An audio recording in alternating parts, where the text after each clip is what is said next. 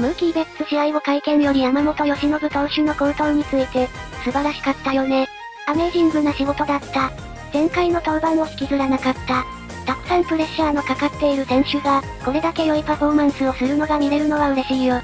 最後の最後まで粘ったことについてはどの試合も戦って、勝てる可能性を作っていけるというのは良いこと。相手にプレッシャーをかけ続けてね。今日は最後に追いつけなかったけど、簡単に諦めないという姿勢は心強いよ。ウィル・スミス試合後会見より、山本由伸投手の好投について、前回よりも落ち着いて、制球力を取り戻せていた。投げたいボールを投げ込めていたと思う。直球、カーブ、スプリッターと全部良かったし、楽しかったよ。また5日後に投げるだろうし、好投を期待したいね。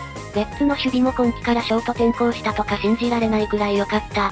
山本も助けられたんじゃないかな。日本でも僕玉に打ち込まれることはあったけど、大体初回に失点する時だね。でもいつも次の試合には修正してくるのがすごいところ。勝ちがつかないのは残念だけど、修正できててよかった。今回の登板は山本由伸本来のコントロールの良さがちゃんと出てたなと感じた。変化球もコースに決まってるし、落ちてるなと思った。勝ちは消え、チームは逆転負けしてしまったけど、今日のような安定したピッチング続ければいずれ勝てると思う。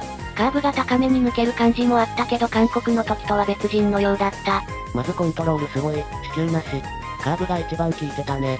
修正してきたのはさすが。雨でペースも乱さず、自分のピッチングをこなす山本。修正力が半端ないな。前回が思わぬ悲惨だったので、初勝利とはいかなかったもののとにかく高騰できたのは何より、初登板からちゃんと修正できたのはさすが。